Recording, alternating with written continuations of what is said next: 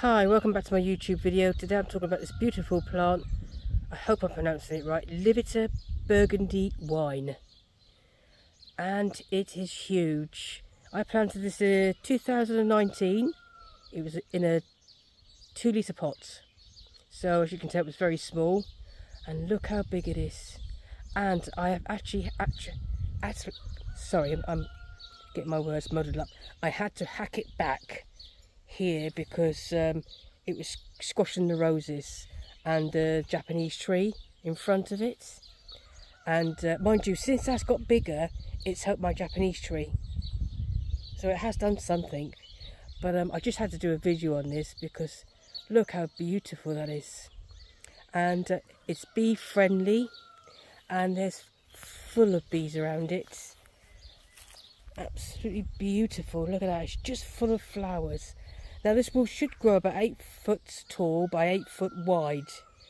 And I'll tell you, if you've got a nice big corner that you can't do nothing with, I recommend chucking one of these in it.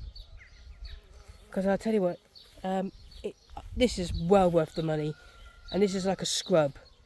And you can hack this back, you know.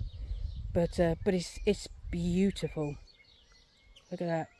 Absolutely beautiful. And it puts a lot of colour into the garden. So um, you do much, you do nothing much with it. You just leave it alone. It does its own thing, and that. So um, it's an easy plant to take care. There's no carings at all. Just plant it and leave it. You know, it gets just make sure it's got some water, and it, it just takes off.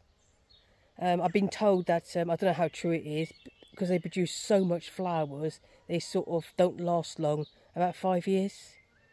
But to be truthful with you, I think it's worth having it in the garden anyway, whether it lasts as long or not. This is, my, this is the first time I've had this, so I wouldn't know. But you hear so many people telling you so many things, don't you, about the plants. But um, I'll wait and, and I'll, I'll, get, I'll go and get another one because I just think it's well worth the money. It's a, it's a lovely plant. Um, I hope you like the video, like to give me the thumbs up or subscribe and I'll see you on the next one. And uh, Thank you very much and I hope you enjoyed the video. And I'll take you closer in to the flowers look.